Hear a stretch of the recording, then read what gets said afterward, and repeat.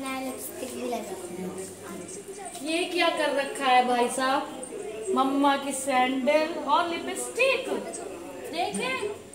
बाबा lipstick देखो कैसे लगाई है इन्होंने ये।